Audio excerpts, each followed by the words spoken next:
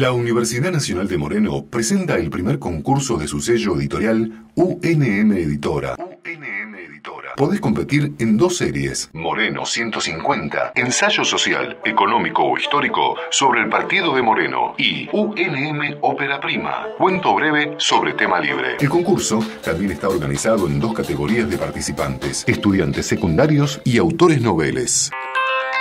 Concurso UNM Editora. Entérate buscando las bases y condiciones en nuestra página web www.unm.edu.ar.